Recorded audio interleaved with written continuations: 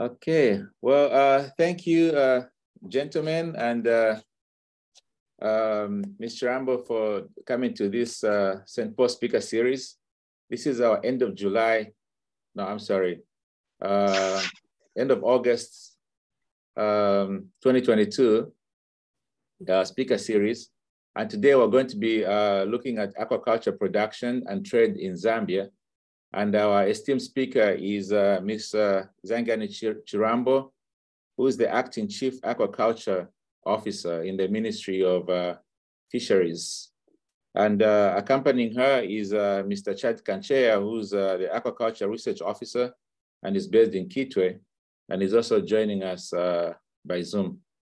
Um, so Mr. Chirambo, the participants in this meeting are alumni of uh, St. Paul's Secondary School, which is in Kabwe. And uh, they have an interest in uh, learning about, uh, you know, just the fish uh, industry and uh, how it works and how they can make a livelihood.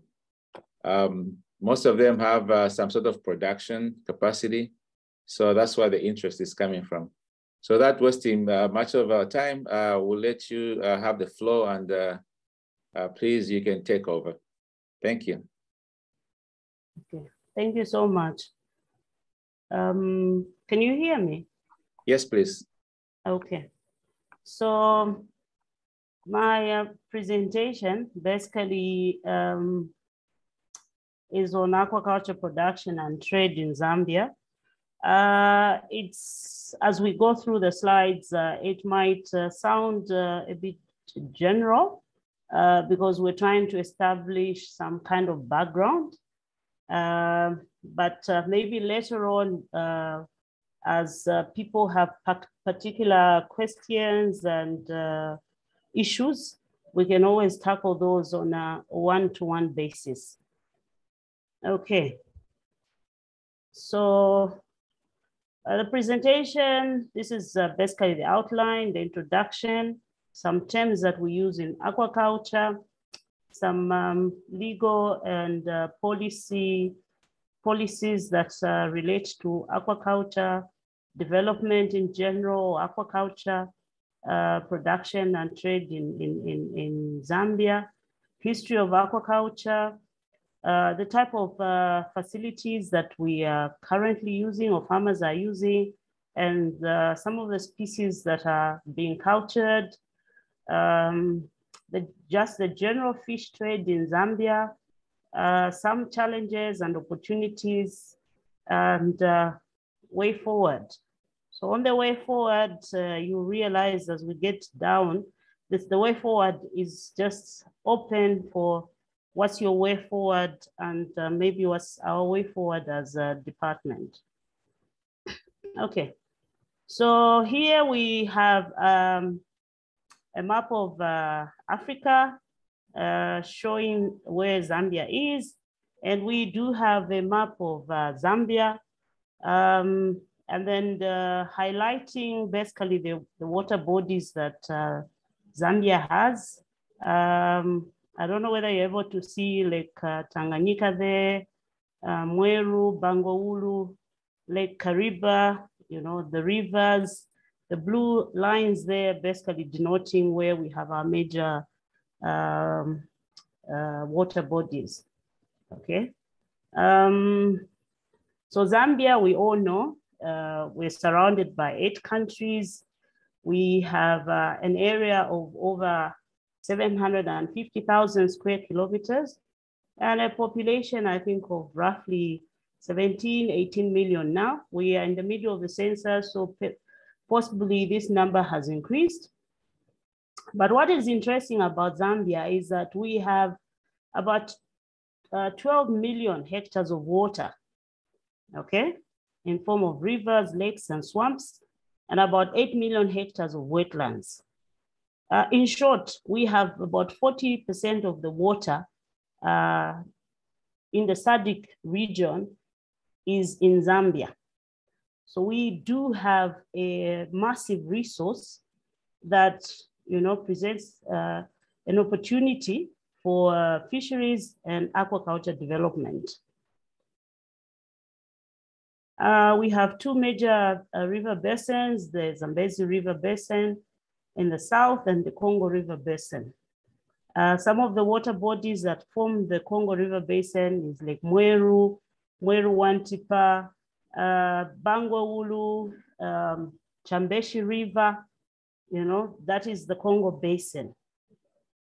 Um, the Zambezi Basin, where we find the Zambezi River, it drains about uh, three quarters of the country's total area. Okay, so basically, wherever you go uh, in, in, in this country, in the west, in the northwest, in the south, you meet the Zambezi River.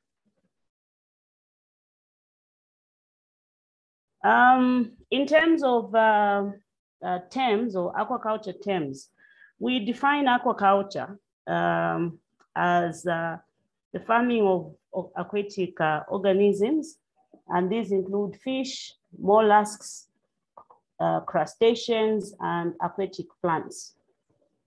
In other countries that have marine waters, I think uh, if you've watched Discovery Channel or nature uh, documentaries, you have seen uh, some plants called seaweeds that are uh, being um, that are being uh, uh, grown, and some of these are used in the confectionery industry for for various even in the pharmaceuticals.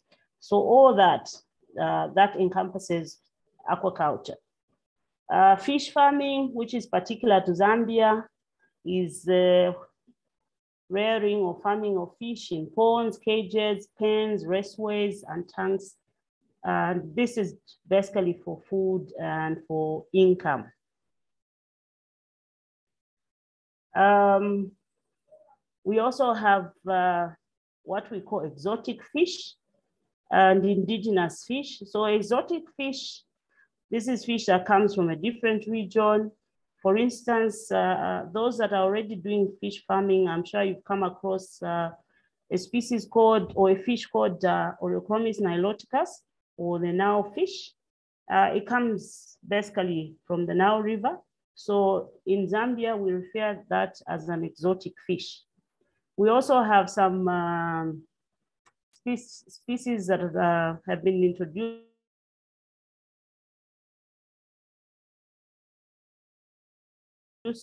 in Zambia over time, uh, CARP, C-A-R-P. Um, so these are some of the things that uh, we have. An indigenous fish is one that is native or it's a local uh, fish. Examples of the, those, um, our breams that we are culturing, which you see in the next slide, those are uh, indigenous uh, species.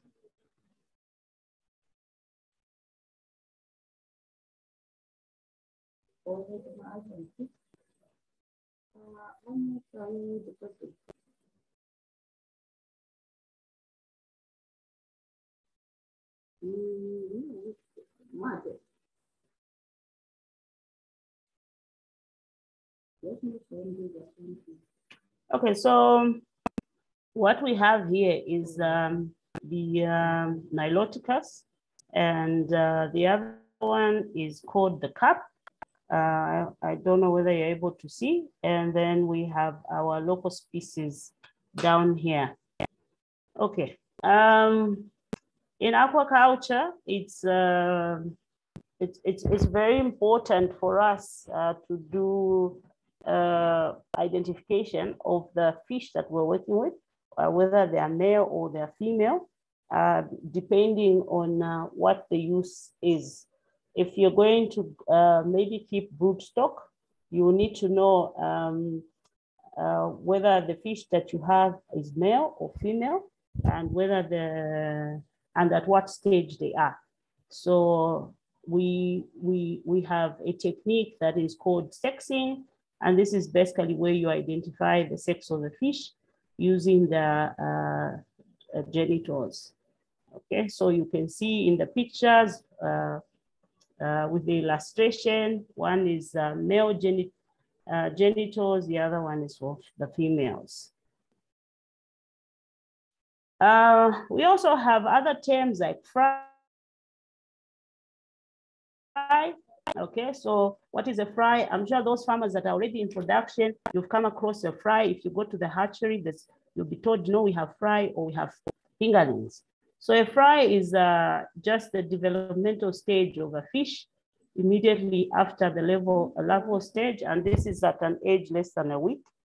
Uh, while the fingerling can be uh, at a stage, developmental stage, uh, following the fry stage at age of 30 to 120 days. Um, um, fish pond, so a fish pond basically is an enclosure uh, which is constructed with the objective of creating the best environmental conditions for the growth of fish. And uh, also for growing of fish, we also have what we call raceways. Um, this, this is a unit that you can use to grow fish, but this is where water flows continuously. Okay, so the water will flow continuously, will make a single pass uh, through the unit before it's discharged.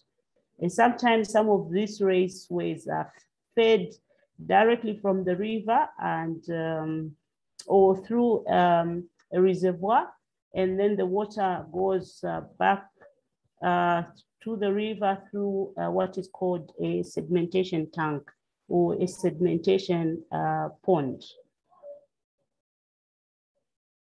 Um, yeah, I think we have uh, come across cages or we have heard about cage culture uh, because now it's like the buzzword for fish farming in Zambia. We've heard of Yalelo, I'm sure, uh, which is doing cage culture on Lake Kariba. So yes, we also have cages. Um, these are fixed or floating enclosures used for rearing fish.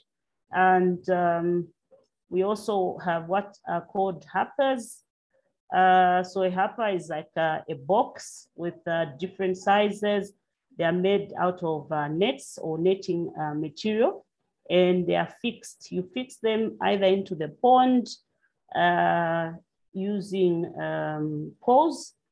Uh, the goodness with a hapa is sometimes when a farmer has limited space, maybe they only have one pond, they can actually increase their production uh, capacity or the carrying capacity by uh, mounting hapas in their pond. But of course, uh, there are certain considerations that have to be made so that you don't uh, have uh, problems of, um, uh, you know, poor water quality, re reduction in oxygen and things like that. Okay, so cage culture is basically farming of fish in cages, pen culture, uh, equally is farming of fish in pens. Um, then we also, I'm sure we've also come across uh, what is called the sex reverse fingerling, because that is what uh, we are promoting uh, for most of uh, the farmers. So this is just an artificially manipulated um, female fingerling that has been, uh, you know, administered with uh, a hormone for a period not exceeding 30 days to produce uh, all male fingerlings. So we, we administer the hormone at the uh, time before the fish, um, sort of before the sex differentiation happens so that even those females are transformed into, into uh, males. The hatchery uh, is a place where we do artificial breeding, hatching, and rearing of fish in uh, their early stages of life.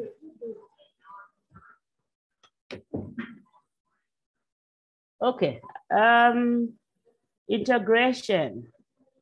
Um, integration is um, this is a system that where a farmer will incorporate livestock and crops with fish. And uh, in the past, this was very common. It's still common with uh, rural smallholders or rural uh, uh small scale farmers where they will incorporate, um, sorry for that, fish farming with um, uh, livestock or yeah, fish farming with um, uh, with uh, rice uh, is common. This is common, sorry, it's common in uh, Asia where they will grow rice with fish in the in the same um, environment. Uh, in Zambia, Zambia Sugar in the I think 70s started this system of integration where they were growing catfish as well as tilapia in in, in, in, in their sugar fields in the same uh, environment where they had, uh, uh, like in the irrigation canals that were feeding their sugar cane, that is where they were growing the, the fish. So this is a system that helps uh, a farmer, a resource poor farmer to sort of like maximize on, um, uh, on, on energy. Uh, so it's a system where what would be considered a byproduct or a waste in one system can actually be integrated or can be used in another system and uh, uh, produce value. Okay, so we have what we call planktons, and these are broken down into zooplankton and phytoplankton. These are just minute or small, very small, small organisms that um, you can find in the water and they're very important for, uh, for fish. You can't see them with your naked eye, but uh, in the pond, generally you see um, a green bloom uh, after you have added some um, manure, organic manure or inorganic uh, fertilizer. So that green uh, water contains planktons that are made of uh, zooplankton and phytoplankton. You can see the, the, the small organisms uh, under a microscope. Okay. Coming to the legal framework, this list is not exhaustive, but I just wanted to share with you the fact that um, uh, aquaculture development or just fisheries uh, development is uh, the aspiration for, for developing the sector are, you know, uh, contained in the Vision 2030. And we also have, um, because we have just moved from the seventh National Development Plan coming to, uh, to the eighth National Development Plan, we have these uh, aspirations also uh, being carried forward in the eighth National Development Plan and uh, looking at how aquaculture fisheries can be developed and what we need in order for us to increase production and productivity, reduce poverty, um, improve incomes or the economy and things like that. Then we also have um, the uh, policy. Our policy for fisheries and aquaculture is still under um, development. Uh, we have reached, reached some advanced stage, but it's uh, still under development. Once it's uh, promulgated, uh, you'll be made aware of that. But right now, we still make reference to the second national agriculture policy, which encompasses the whole agriculture sector. Uh, that's crops, livestock, and, uh, and fisheries. Then we also have the National Aquaculture Strategy. This is an old strategy that was developed um, in 2006. We still make reference to it because uh, it's been like the bedrock of aquaculture development in Zambia. And uh, periodically we develop what, what we call uh, national aquaculture development plans. We have just coming out of the last uh, plan, which was from 2015 to 2020. And we are in the process of developing uh, another plan uh, to spearhead uh, uh, aquaculture development based on the gains that we have made from the last plan.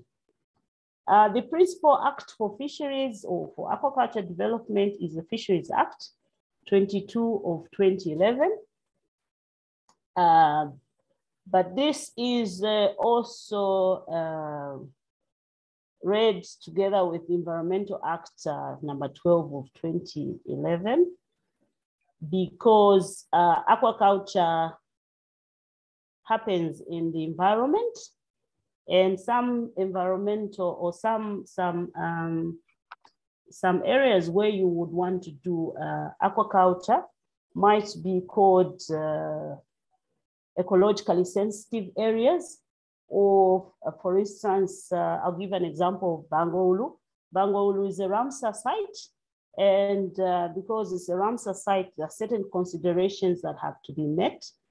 Uh, one of the things that you might not be allowed to, to bring into an ecologically sensitive uh, environment are maybe species that are not endemic to that place.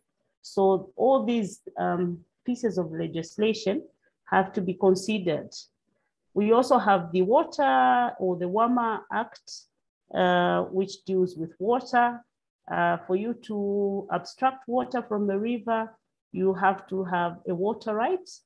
Um, so there are all these, uh, uh, yeah, all these pieces of legislation that are important in one form or the other. We also have uh, the ZEMA regulations. At one point, depending on the, um, your production capacity or output, you might be required to do what is called an environmental brief, or you might have to do a full EIA uh, so that uh, you um, sort of like uh, avert fears of uh, environmental damage. Then we also make reference to the um, Animal Health Act because food, fish is food, and so it must meet uh, uh, basic uh, health uh, safety uh, conditions. Am I making sense so far? Are you following? Very oh, much. Very much very so. Much. I've been writing down a lot of questions. Okay. okay, so at, um, what's the story about aquaculture in Zambia? So yeah, in some literature, you read that uh, aquaculture dates back to the 40s, to the 50s. Um, and uh, so fish was raised in dams, in earthen ponds, and uh, also the development of some government fish farms. Uh, so this is basically uh, where we have um, aquaculture starting from.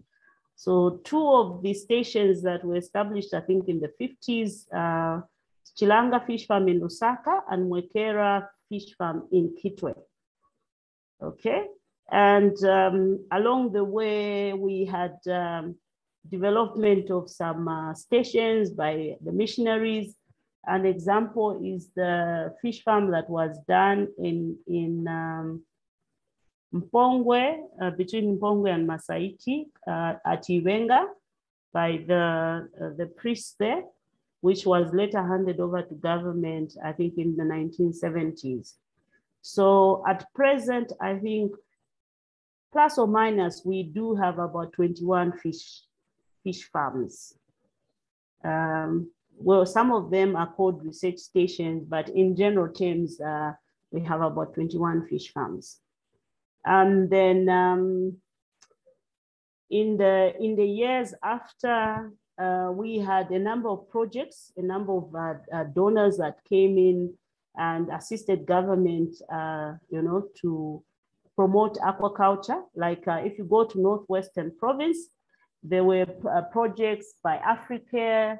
There was a project by uh, WorldFish. At that time, they were called ICLARM. Now they're called WorldFish. There was a, a project there that um, promoted aquaculture and a lot of farmers were encouraged to uh, construct ponds. There, there are a number, a good, a great number of ponds in, in, in districts like Mwinilunga and Kasempa because of uh, those projects. So here the focus basically was um, food security. So the farmers were uh, encouraged to keep fish as a food security measure. And um, over time, the government uh, used uh, these uh, fish farms uh, as platforms for providing extension services, as well as, uh, as demonstration sites, and also places where farmers could get fingerlings, and could be taught on how to keep uh, fish and also how to make uh, uh, home um, homemade feed. Okay. Um, I'm using some old statistics, but I think we have more than 14,000 uh, small scale farmers. And we have um, uh, maybe more than 20,000 uh, fish ponds throughout the country. We also have um, more than 15 uh, active large commercial farmers. We have uh, land-based and we have uh, water-based uh, fish farms, commercial fish farms. Um, on the copper belt, I think we have, um, we still have about uh, two or three and some more are coming on.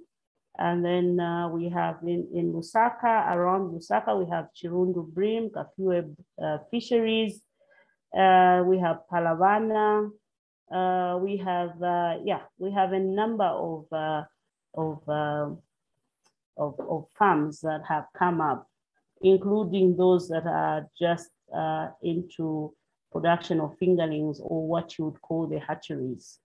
So there has been in, I think the last five years or so, um, there's been some very increased investment in the sector.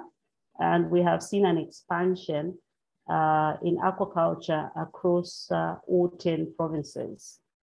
Um, we are still, I think, uh, among the uh, largest producers in, in Africa. Uh, we, we, we could be about number four now, or maybe we're still at number five. I have not checked, but I think we are yeah, last time I checked, we were like the fifth largest producer in sub-Saharan Africa. Egypt is uh, leading and uh, yeah, the production is massive. Um, I'm sure if you've seen any documentaries about aquaculture in Egypt, it's, it's amazing that a country that has just the Nile River can do so much and we have 40% of the water in SADC region. That is meant to provoke you. Okay, so in the past, fish farming has basically ranged uh, from extensive to intensive and from multi-species to uh, mono-species culture. So this is where like multi-species, the farmer might have several species, maybe several tilapia and the catfish in there. But uh, uh, the current practice for most of the farmers has been to keep uh, one species, so hence the monospecies culture. Um, and uh, yes, we have uh, uh, we, we, we have like the farming systems, I said, they range from extensive. So you have some farmers that do very minimal management. they will supplement with feed or they'll put manure and not really do uh, some very serious feeding. But there are some farmers that are uh, very intensive. When you look at cage culture by Yalelo, that's a very intensive uh, form of production. We have uh, different levels of farmers. Uh, we also have subsistence farmers, very small farmers, very small uh, production. And sometimes they don't even harvest completely. They might just harvest partially for the port or for for sale just to meet small, you know, immediate needs. But we have subsistence, we have small scale, uh, yeah, we have a small holder, but within the small holder, we have those that we might call uh, emergent and uh, uh, uh small holder commercial, as well as the large commercial.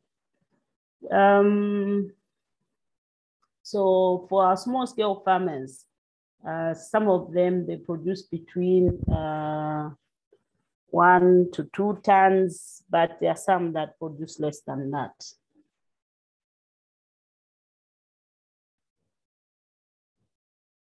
Okay, so our smallholder farmers um, combine their fish farming, like I said, with livestock and crops, and their production varies, but um, they will do that for uh, generating uh, income.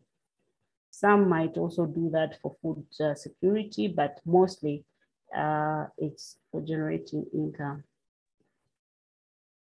Um, our commercial fish farming is um, focuses on high production. It's in, intensive. It also is uh, has high levels of investment.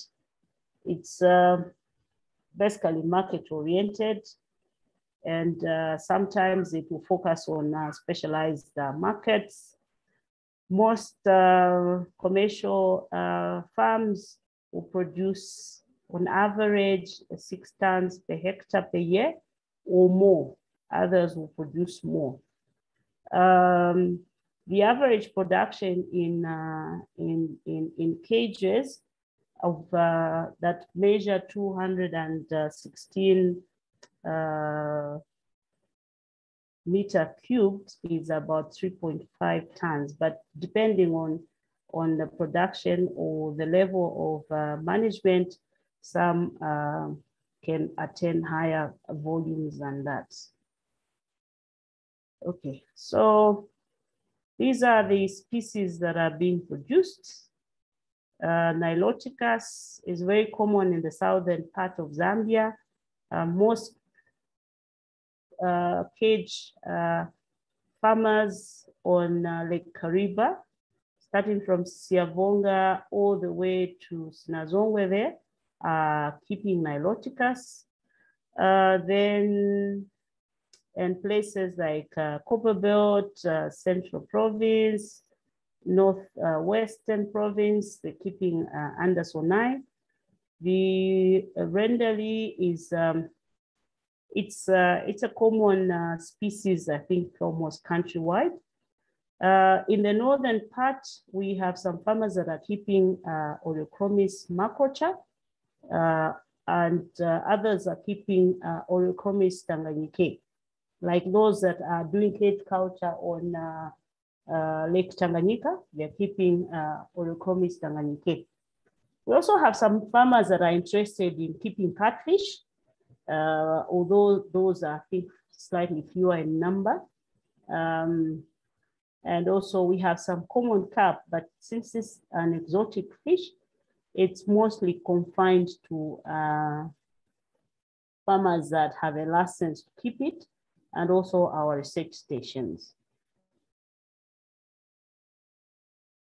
Okay, so like I said, uh, is very common with cage culture. Uh, the other uh, three species are common uh, with uh, and uh, with ponds but we also have uh, some outfits that are trying to put up um, cage culture on Lake Itezhi in Central Province. And um, they are trying to use uh, Andersoni. So we'll see what uh, the future holds. Okay, so examples of uh, aquaculture facilities that we have, we have ponds, uh, these are called earthen ponds, the ones uh, that are on my uh, top left. The other one with the black liner is um, it's an earthen pond, but which has a pond liner. Uh, usually where we have pond liners, it's a situation where the, the pond cannot hold water. It has high levels of seepage. So to prevent that, the uh, pond will be lined.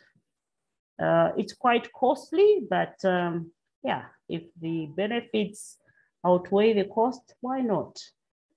In the uh, bottom uh, left here, we have uh, a picture of a, a, hatchery. We have some hatching uh, uh, jars and some trays where the once the fry, you know, hatch from the eggs or the larval hatch, they'll fry, they'll swim out and come into the trays.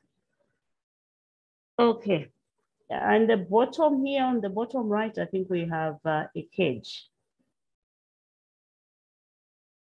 Mr. Ambo, so, Yes. Uh, somebody wanted to ask you a question. Yes, and please ask. I think we should have provided this opportunity because I have written so, so many questions and mm -hmm. should have provided uh, an opportunity opportunity for people to ask as you are going because this information is uh, is wonderful and uh, if you're not taking notes you might lose something I think. Um, but before the question comes in, I wanted to tell you that uh, your brother Msenga has joined the, the call. Okay. Uh, so yeah, so you're on notice now. You can't, uh, uh, what, what's the word? You have to make him happy. okay, no, I will call him and uh, he can always uh, get this information at a fee. But you know he's the lawyer, so he's gonna. Yes, because if I go to his office, he's going to charge me for the for the for retaining him. Right, right, right. yes. Cool. Uh, okay. So somebody had a so, question about commercialization. Please go ahead and ask Ms. Chirambo the question. Please ask so that I can deal with it as we go. Mm -hmm. Oh, thank you very much uh, for sharing uh, information. I was just wondering um, on some of the species that you shared with us that people uh, are growing for commercial production. Why mm -hmm. don't we have some of our, our local breeds? Uh, I don't know the scientific names, but uh, you know, things like Buka Buka, uh, Imboa for those in uh, Luapula, um, mm -hmm. those types of breeds. Is there anything that prevents those breeds being uh, uh, going into commercial production? Because I think they would suit the market because people already have them uh, and are, are used to eating them. Okay. Yeah, the Imboa is a very popular question. Um, and uh, so, so as a department, we uh, we are understanding its biology, its uh, so its reproduction as well as its feeding. So we have uh, we have a one of our officers who's doing uh, some studies and she's studying the uh, boa to understand its biology as far as reproduction and uh, feeding is concerned. So if we understand how it reproduces, then we can uh, develop uh, breeding uh, protocols in captivity so that we understand exactly what, uh, if we're going to do artificial breeding, how are we going to do artificial breeding? If we're going to breed it naturally, then what are the uh, uh, conditions, environmental conditions that will allow it to breed? The tilapias are very prolific. They are very, um, they're easy to breed even in captivity. And that's the reason why you see them as being very uh, common for culture, okay? Uh, the other species, uh, they don't breed so many, uh, they don't give you so many offspring, or they will need, um, in, the, in the wild or in, the, in their natural habitat, they don't, do not breed in the same place where they grow. They have to go to a certain environment that um, uh, is suitable for breeding. So they do some sort of like periodical uh, migration, okay? So they'll migrate to their breeding grounds and after they have bred, then they'll come back to the place where they will grow.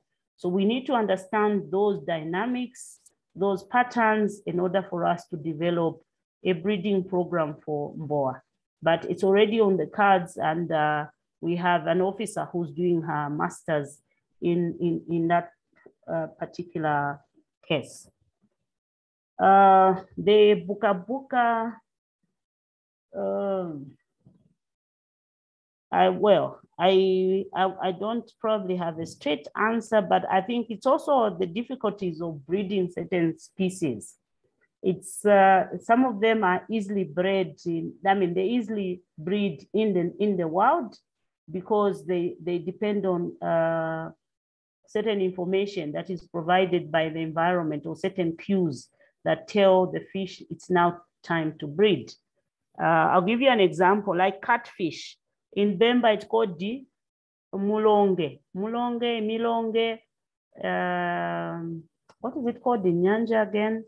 Uh, well, but at least we, we get a sense. So for catfish, um, or mulamba, yes, it's called mulamba. So in milonge, mulonge, they have certain cues in the environment, and one of the cues is the flash floods. Okay, so when the rain starts and it has those, uh, uh, flash flooding, that tells the fish to now migrate to the breeding areas. So in order for you to breed them uh, naturally, you have to mimic those conditions. So uh, fortunately for um, Mulonge, we have an artificial program for breeding. And Mr. Kancheya, who is sitting in with us, is uh, that is some of the work that he does. Uh, his uh, specialization is uh, fingerling production and hatchery management. So for, for anyone that wants to go into hatchery, establishing a hatchery or fingerling production, um, you can get in touch with Mr. Kancheya. I hope I have answered your question. Uh, yes, you have. Thank you very much for, for that information. I really appreciate it. Thank you. So we will keep you posted on uh, what advances we, we, we, we have. Um, at the moment, uh, in order to also improve the performance of our species, although this is something that I have not included in this presentation, we are also we also have uh, what we're calling the genetic improvement program, which sits at uh, NARDC in Kitwe, where Mr. Kancheya is coming from. Uh, maybe at a later stage, if we still come back to this forum, we can come and talk about that. But we are working on one of our local species, which is the Andersoni or Oreochromis andersoni, and we're trying to uh, uh, sort of like isolate certain um, certain traits that can improve its growth, its performance, so that uh, we, we can uh, in, improve uh, overall production and productivity. Okay, so just to give you a sense of what production has been from uh, uh, maybe 2011. So those are the figures in, for aquaculture. And somewhere before 2011, I think our production was uh, was varying between 5,000 and 8,000 tons. But if you can see from that uh, table, we have uh, been steadily improving. So our current production as of 2021 was 63,000 um, metric tons from aquaculture. And about 80% of production, 80, 90% is basically tilapia. Okay, so in terms of production from both capture fisheries and aquaculture, that has been the, the production trend. So aquaculture is in green. You can see that it's, it's, it's, it's uh, increasing, steadily increasing. During some years, we were almost not growing, but now we have, uh, you can see that there's been a steady uh, growth. Uh, uh, the blue line is um, fish from the wild, from capture fisheries. You can see that there are all those uh, points where the production would peak and the production would go down. Uh, basically, this just shows you that um, there's only so much that we can get from capture fisheries. Okay, so in terms of um, consumption, our consumption is about six kg per person per year, uh, declining from something like 12 kg per, uh, per person per year.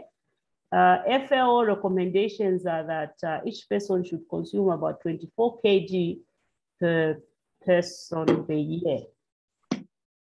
Okay, so the, de the decline in the consumption per person is attributed to low production uh, which cannot match the increase in the uh, population. So the, the more we are increasing in terms of population, the less uh, fish that is coming from capture, so the less the consumption per person. Uh, this is just an average, but if you were to go case by case, you realize that in some instances, in some places, people consume even less than one, uh, one kg per year, per person per year. Okay, so that uh, should uh, That should motivate the, uh, the, the should motivate you as uh, potential investors, as uh, players in the value chain, in the fish value chain to do more so that we can improve our consumption per person uh, per year. So our projected production to meet that 12% uh, per capita per person uh, consumption, we need about uh, over 216,000 metric tons. This is at 12%, but if we say we go to 19%, the figure will be more. And so it will show you that uh, we have a deficit. Our current production as of 2021 was 158,000 metric tons against a projected production of 12, uh, of 20, uh, of 216. That gives us a deficit of around about 58, 60 metric tons, 60,000 metric tons. So in order for us to get to this level, we have to increase production. But in the short term, the country continues to import uh, fish from China, from Namibia, from South Africa, and from Europe, basically. And most of the fish that is uh, imported from, from China, we're importing tilapia from, uh, and uh, for the common market, that is, from the SADC region, like Namibia, we are importing horse mackerel. And uh, yeah, basically those are some of the common species that hit the market. So this is what uh, the, um, the fish trade uh, at Kasumbalesa looks like.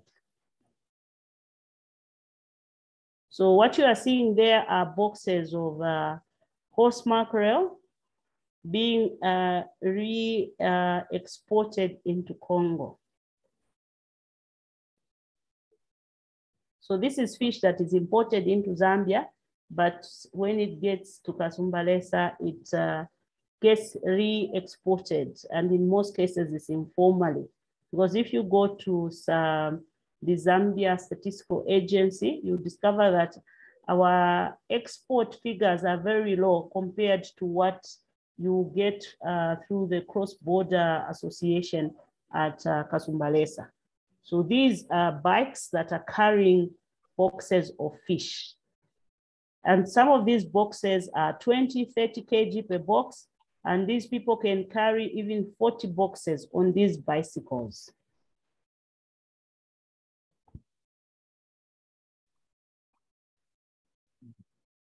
Okay, so I've, I've talked about what we're importing. Um, yeah, the markets, Lusaka, Copperbelt, uh, open markets at Kasumbalesa, Chisokone. We also have fish being sold in chain stores and uh, fish shops in the townships. Okay, so what are the opportunities? So we have an annual demand of more than 200,000 metric tons against the domestic supply of 158,000 metric tons. And we also have a potential export market in the form of the DRC, the Democratic uh, Republic of Congo. And uh, so what is, um, what, what is uh, sort of like uh, making this uh, demand higher uh, within the local population is the increasing preference for, for fish against red meat. Uh, and also the job opportunities that uh, the fisheries or the fish value chain uh, presents, as well as the human population increase. right now, aquaculture has um, political goodwill from the government. There's the government policies and political will is very high. So we do have the uh, enabling environment to take advantage of the opportunities that uh, aquaculture presents.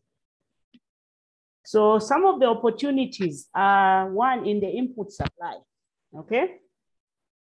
We do have a number of hatcheries Uh, but some of those are not really performing as uh, expected. Uh, some of the challenges that I think we will see that are arising or have are there already is the source of broodstock. There's some hatcheries that are still importing broodstock from Thailand, especially the ones that are doing niloticus.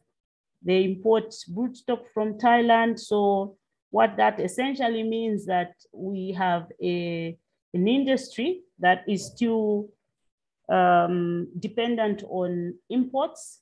So we lose a lot of our forex because we always have to take get uh, broodstock out of uh, from another country, source it from another country. Um, then we have um, we have opportunities in an um, establishment of uh, um, what we call nurseries. So a nursery, just like the word nursery uh, for a, a baby, is a place where you grow fish. You don't actually do the breeding. So you cut out the, the, the headache of having a, a you know, breeding tanks or breeding uh, stock, maintaining that stock, feeding it and everything. So all you do is you get the fry, feed it to a certain level, they reach fingerling size and you offload onto the market.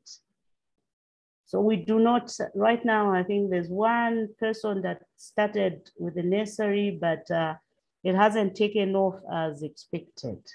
So we have opportunities in, um, uh, in, in, in people establishing nurseries because also some of the hatcheries are, you know, will offload fry to the uh, farmer and fry is very small. If you saw from the from the from the terminologies there, you saw that the fry were very small fish.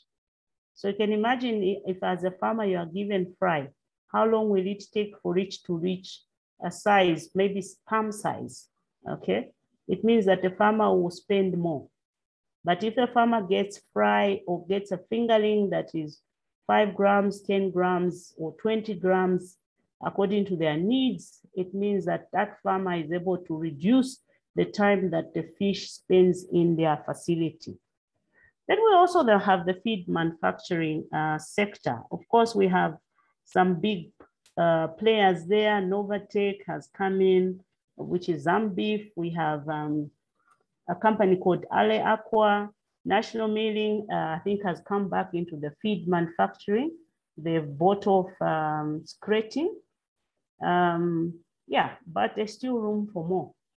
Uh, it might not necessarily be feed manufacturing. It could also be uh, retailing. It could also be distribution. So the, the, the, the, the, the opportunities for investing along the value chain or along the supply chain uh, are, are still there. The other uh, opportunity that exists is in the um, equipment for excavation of ponds. A lot of farmers are doing pond excavation using the traditional methods of using hoes and shovels and, and, and things like that. So how big a pond can you dig with a hoe? But if we have people that can um, that can, you know, come in and um, provide uh, mini excavators or, or just even the, the, the standard excavators. Uh, yeah, I think those are opportunities that uh, business people should be able to, to look at and see whether it makes economic sense to have, uh, to have such equipment. Then we have uh, cage and uh, pen fabrication. Uh, there, there is some small scale kind of fabrication going around. Um, unfortunately, I forgot to load the picture. I wish I had, but maybe I will send it to, uh, I'll send it to Lumzond and then you can share. There is, um, most of the cages that you are seeing, they're either coming from Europe or they're coming from China. Even the nets are coming from there okay? So there are all these opportunities. If aquaculture is going to grow, we need to have it, it needs to be as, as uh, cheap as possible. So it starts from sourcing of the materials for cages and for pens, the frames for the cages, uh, because if they're going to come all the way from China and the Chinese person has to come and um, uh, assemble them. So what happens when you have, uh, when they need to be repaired, when they need to be rehabilitated? You can't always go to China. We must have that technology transfer.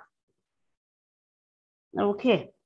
Um, yeah, so in the processing, um, in the processing uh, node of the value chain, uh, yeah, we have opportunities there. The most of the fish that we sell, uh, if you look at the picture that I showed you about fish from Namibia, it's not it's not packaged in those uh, uh, cartons. It's usually just in crates.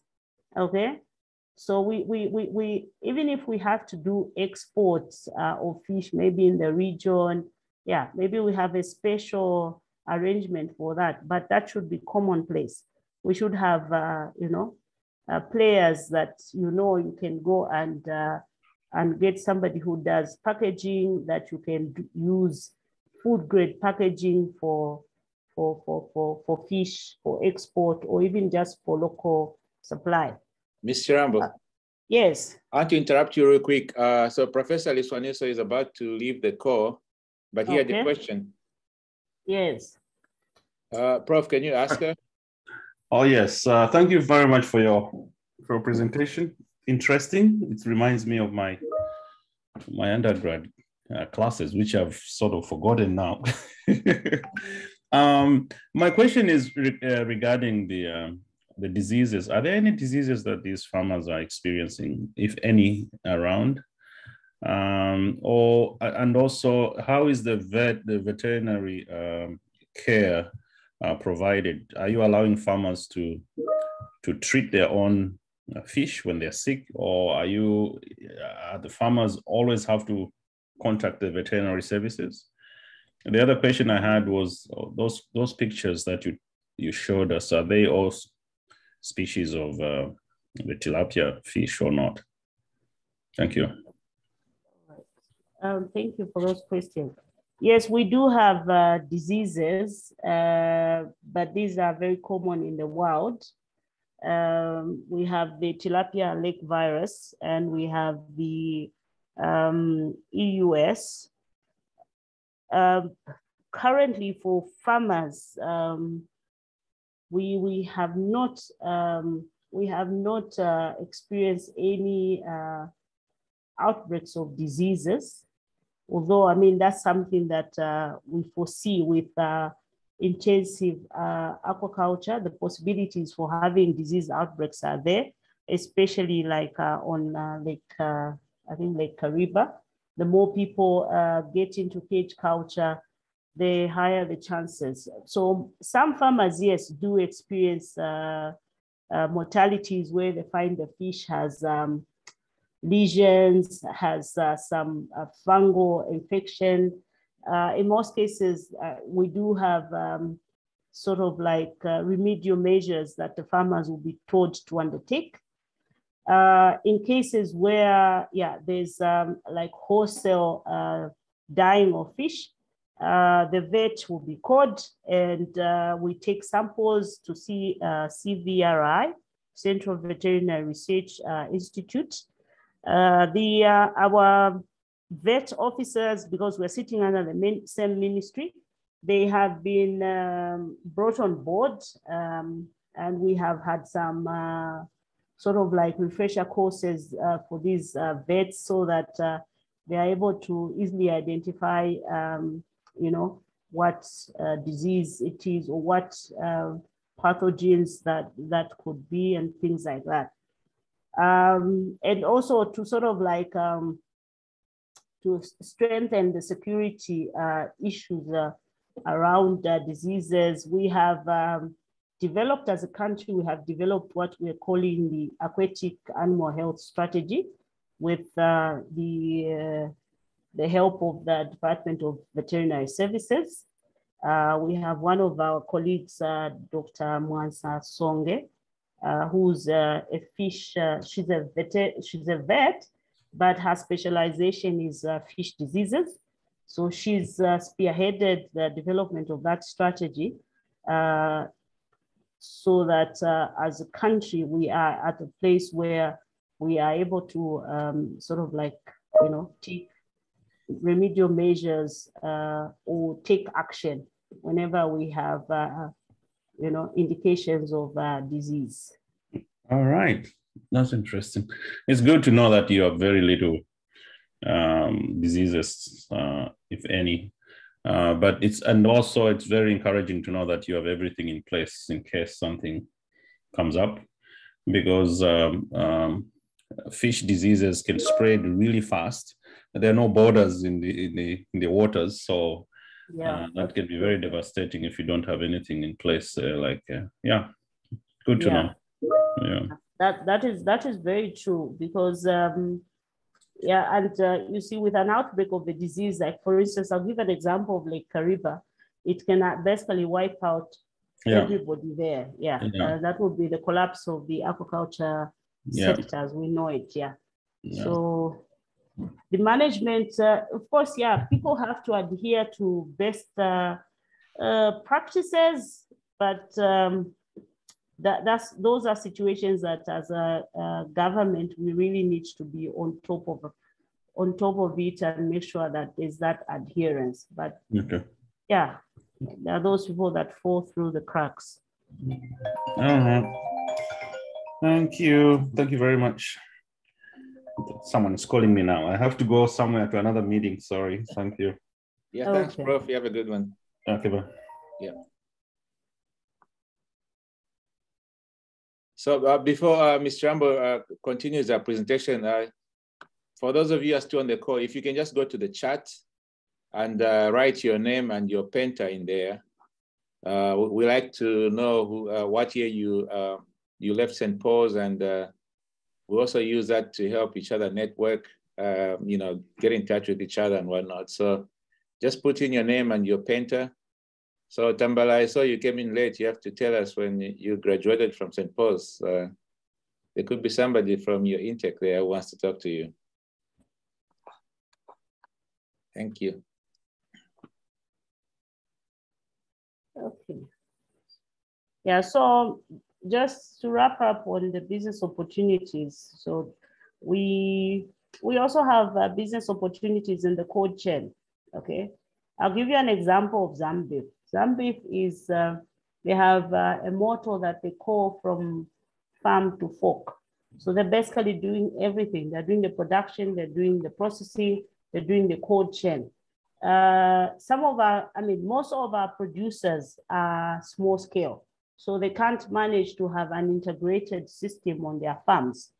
So they will rely on somebody that can come and buy the fish in bulk, either store it somewhere uh, before distribution or whatever the, the, the, the case may be. So where such facilities don't exist, government is trying to partners to come up with what we're calling bulking centers.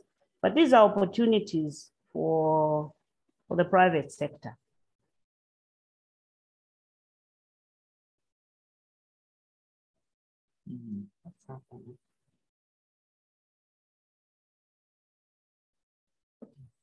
So um, fish is important.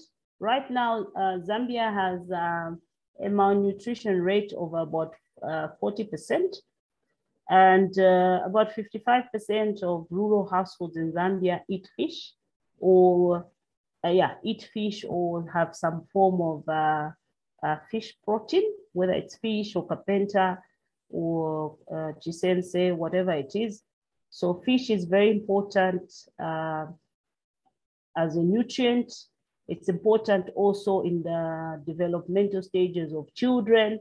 So we are also promoting uh, inclusion of fish in nutrition, um, what we're calling uh, the most critical, uh, the 1,000 most critical days. This is a program that is trying to address malnutrition uh, from conception up to when a child is two years old. Thank you. Oh, wow. Uh, this is uh, this is a wonderful presentation, uh, Ms. Chirambo. So thank you so very much. Um, I'm sure we're going to have some questions here. And uh, I'm going to uh, start off with some questions myself. But before I do that, I just uh, want to thank you for making this presentation and also to invite Mr. Kancheya to, um, to say something if he has in addition. Um, but in summary, um, you have uh, told us that um, this is a very viable uh, business. it's a very viable activity. Uh, and it's also very helpful at multiple uh, stages or multiple places uh, because there's a critical mass of factors uh, that come together to make this uh, an interesting and viable uh, activity, such as government policy that's you know forward-looking, and then the mm-hmm. demand due to um, due to increased population, Mm and uh, also due to uh, change in lifestyle, people wanting white meat I know people mm. love fish uh, quite a bit, and I'm one of those. And then also uh, improved uh, distribution mechanisms, which would need uh, you know extra boost in terms of uh, uh, private sector. And then mm. following up on Professor Liswaniso's question, I think you've highlighted to the fact that we, we do have experts, you know, in the in the in the country that can actually handle rapid, you know, responses if there's an issue. Mm -hmm. uh, and the, the one you mentioned, Masan Songe, is actually a good friend of mine. So when uh, you see her, please tell her I said hello. I will. Uh, yeah, yeah. My team, my team band, as we used to okay. say to our kids. yeah. Um, and then, yeah, and then you mentioned uh, vertical integration, which uh, I think uh, does help. I, you, you didn't mention anything about uh, out outgrowers scheme and everything, but uh, maybe that can come later. So um, with that said, uh, Chalo has a question. Shalom Sosha uh, has a question. Please go ahead, sir. Thank you, Prof. And uh, thank you for this uh, presentation. Uh, it's been very, very insightful. My concern is, or my question is in regards to uh, the integrity of naturally occurring fish in our rivers. We, uh, today, uh, there's a big emphasis on organic uh, products and uh, correct me if I'm wrong, from some of the descriptions that you've, you've, you've highlighted today, it seems like there's a, a level of genetic modification that's taking place in some of the fish that is grown, whether to increase productivity or resistance to diseases, whatever the case might be. What measures are, does the ministry have in place to protect the integrity of uh, naturally occurring fish in our rivers. Know, so my people in Luapula that like to use uh, uh, mosquito nets for fishing can still, you know, subsist from uh, from from the fish industry in those in those areas without necessarily venturing into uh, a commercial version of uh, aquaculture. Thank you. Um, okay. Um, with the, the genetic uh, improvement program, uh, we are not necessarily uh, manipulating the genetics or we're not creating a GMO.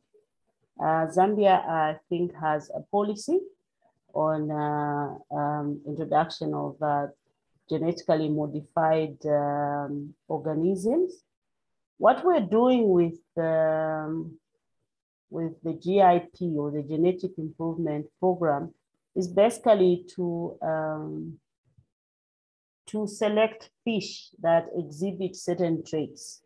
I think for this question, I'll ask Mr. Kancheya to maybe uh, share their what exactly they're doing uh, uh, concerning that.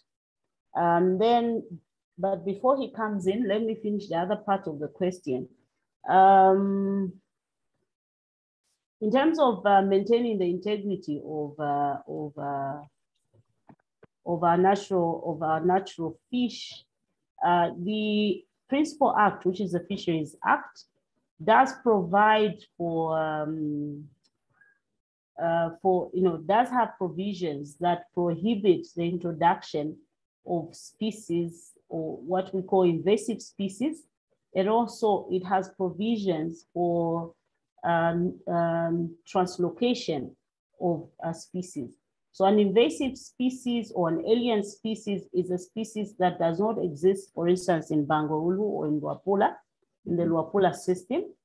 Uh, then also we have a situation where, uh, let's say Pale, you know the Pale, Macrochir. Macrochir does exist in Luapula, okay, within the Zambia uh, water system. But getting it out of Luapula and taking it into another river system where it does not exist, that is called translocation. So we have the law pro, uh, uh, prohibits such actions. I'm not saying they don't happen, they are happening. So that is the way in which we're trying to, um, uh, to, to promote or maintain the integrity. But believe you me, right now there's a hot debate and it's coming from Luapula. We have some uh, aquaculture farmers that have, uh, in just recently, some of them, I don't know whether you saw it in social media, they went to see the president uh, when he was officiating at the Kusefya Pangwena and they went to complain and say we the Department of Fisheries is uh, keeping them in poverty by stopping them from um, growing, uh, from using Niloticus uh, in aquaculture. Okay, so this is a, like a double-edged sword. There are people who want to destroy the integrity of the environment for profit because they're saying we are business people we can't grow a fish that uh, you're saying it's uh, it's it's um, a native and they have concerns about it not growing. So they want to bring in a foreign fish that they feel uh, uh, grows better.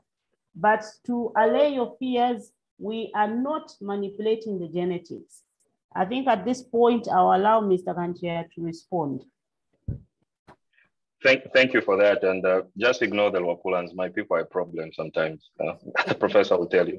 but they can get me fired. True. oh, uh, Hello. Yes, sir, we can hear you. All right. Okay. So with the genetic improvement program, uh, what we are basically doing is uh, getting fish from uh, different areas of the country. Say if it's uh, the three-spotted bream or Andersoni, uh, we get them say from uh, Super Upper Zambezi, Kafue River, Luangwa River, and then screen them to check if they have any problems or diseases.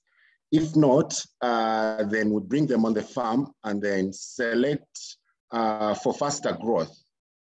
Um, so we uh, produce families and from each family, we select fish that are faster growing and then cross them or breed them with another family from another source, uh, which are of the same species. And then, uh, yeah, just selecting those that are faster growing from each batch uh, of the family. And then we are improving the growth uh, um, compared to their uh, original grandparents because, yeah, it's like um, selective breeding. So there's no genetic manipulation. So we're just selecting for traits of faster growth in certain species. And then those are the fish that will be given to the farmers so that they have fish that is faster growing. Yeah. Thank you very much for that clarification. Thank you. Um, any more questions? Because I, um, I, have several. Can I say something before you uh, ask for more questions? Sure. Yes, you, those, uh, you made a, a, comment on our outgrower schemes. Yes. Uh, yeah, we have developed models. We have um, the Zambia Aquaculture Enterprise Development uh, Project, which has been running for the last uh, five years and uh, has supported, I think by the end of this year, I think we would have supported over 2,000 farmers. Okay. Uh, so part of the, the, the things that we have done is we have identified about five areas which we're calling uh, high potential zones. And so in these high potential zones, we are supposed to set up uh, what we call enabling environment in order for farmers to, uh, you know, improve, increase production. Mm -hmm. And some of the things that we have been looking at is uh, development of outgrower schemes. Sorry, so we have um, models for development of uh, outgrower schemes, and then there are some farmers that are already trying to develop outgrower schemes. There's one company right now that is trying to go into some form of outgrower scheme, some form of contract farming, uh, where they will provide certain um, incentives, certain services, technical services, uh, so that farmers produce on their behalf and then they can sell that fish as, and brand it as their own. Oh, wow. Yeah. Oh, that's wonderful. Thank you so much. Uh, and uh, Onward, you have a hand up, uh, but before you go uh, and ask the question, I wanted to say that uh, Mweni had um, written a chat meant for Mr. Kancheya, but he sent it to me directly. So I think Mweni, what you wanted to say was uh, you wanted to thank Mr. Kancheya for his response, but you sent me a direct message instead, instead of going to the you know general chat. So Mr. Kancheya, just somebody saying thank you for your response there. Uh, Mr. Lumbama, go ahead. Uh, thank you very much uh, uh for this meeting. Uh, I'm, I'm, I'm, I do not come from that kind of life where uh, fish is, is, is really available. Samba is an area where there are no, no rivers. But um, I wanted to, I, I, went for an expo and then there are these, I don't know whether they call them cages, where you make them using plants and then you make, um, I had written in the chat to ask Mr. Kancheya about uh, trying to make, because the taste is really different because we feed them. But those that feed naturally, the taste is different. So I wanted to ask, say, any way of improving either feeding them with worms or other things that you can discover and tell us to say, okay, when you feed these, I think the taste will still be maintained. And that's what I wanted to, to, to, to ask Mr. Kancheya, his research.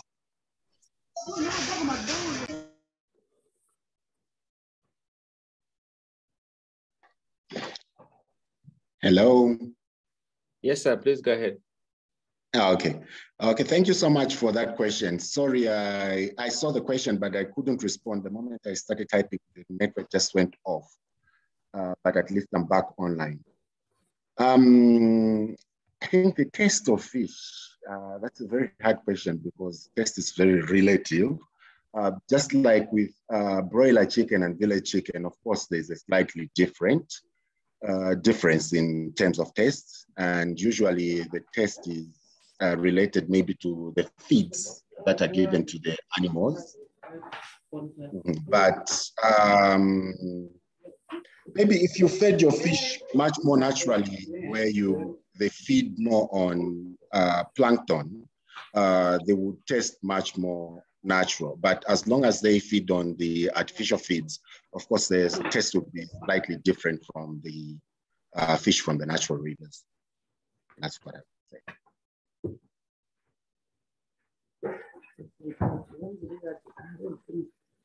Thank you so much. Uh, any more questions?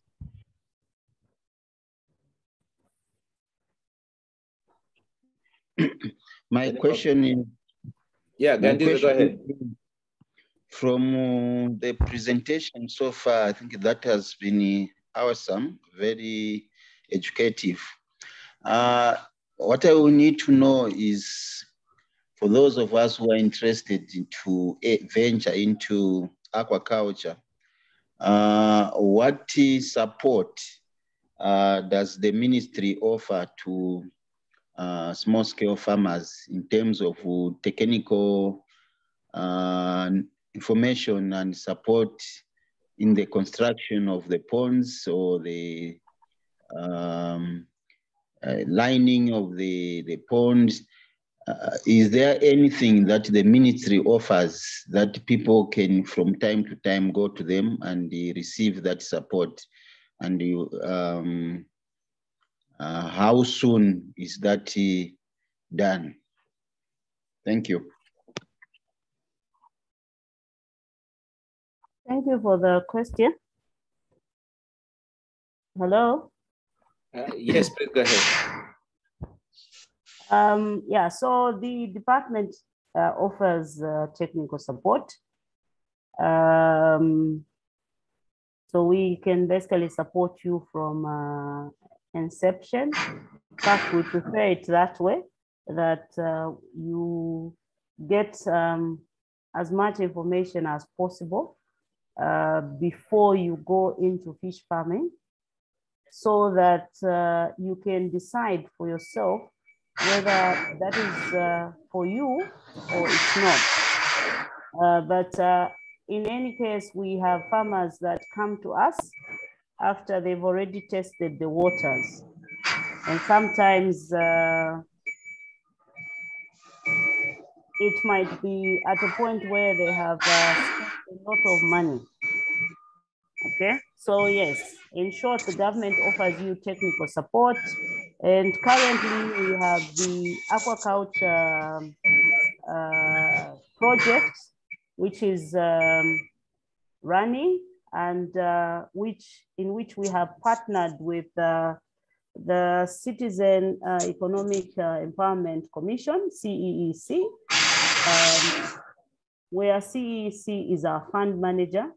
And uh, so every time there's a call for application, um, we invite the, the, general public or we invite the fish farmers, uh, as it were, to um, apply for those loans.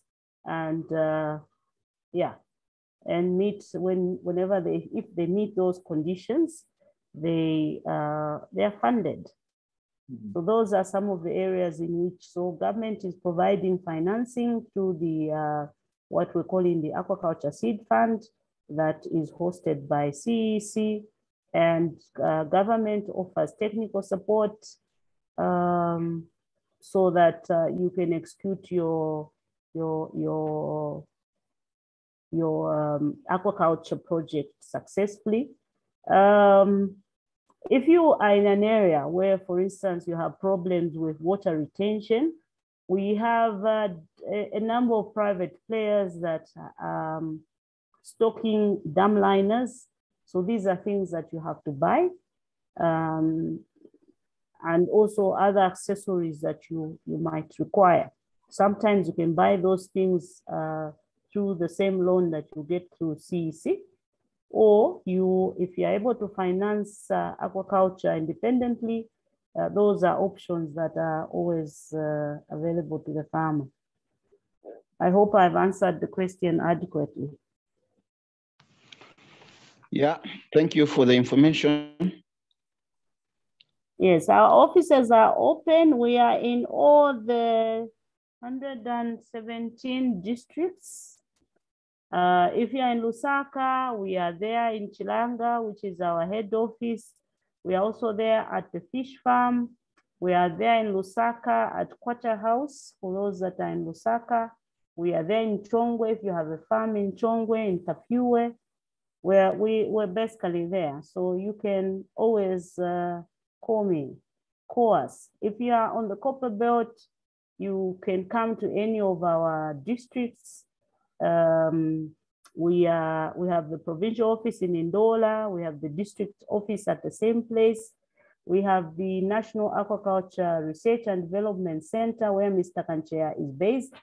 Uh, we have staff there to help you with uh, whatever you might require.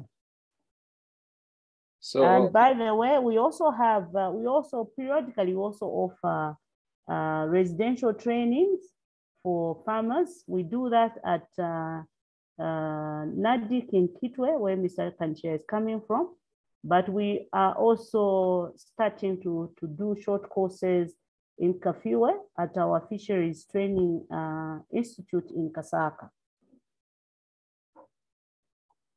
Well, that's wonderful. So on that note, um, uh, Ms. Chirambo, do you mind uh, afterwards maybe sharing the, the contact information so that when we send out the video, uh, we can share we can share that as well um, okay.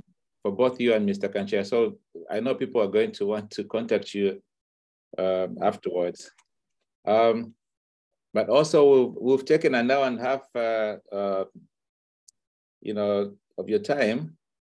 Uh, so I don't know if there's any more questions. Um, we could actually wrap it up. Uh, gentlemen, do you have any questions for Ms. Uh, Chiram?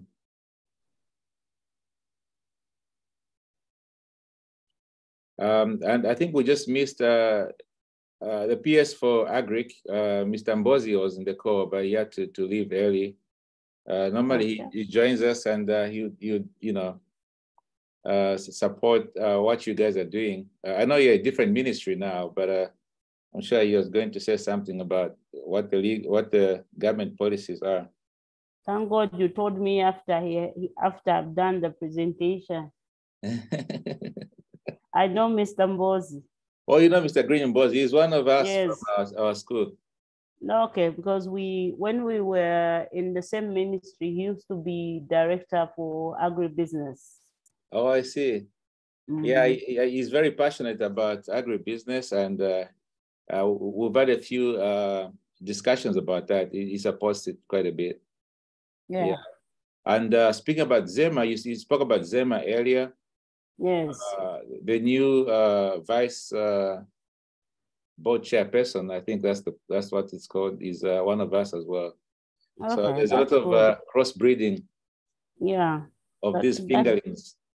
Okay, no, that's that's very helpful. So if I have farmers that have issues, I know where to go. I will call you and you link me with, with the various uh, influential people that I need to sort out my farmers' issues.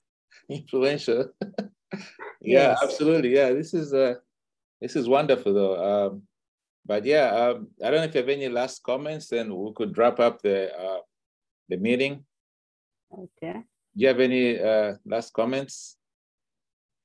Um, well, I I think it's um it's it's what can I say? Um well basically the, the, the, there is a lot that is happening in the sector and uh, we barely scratched the the surface mm-hmm. and um, and yes it's a it's a new sector that's uh, one thing this we still have some challenges I didn't want to, I mentioned those, but I probably was marrying them with the, the opportunities.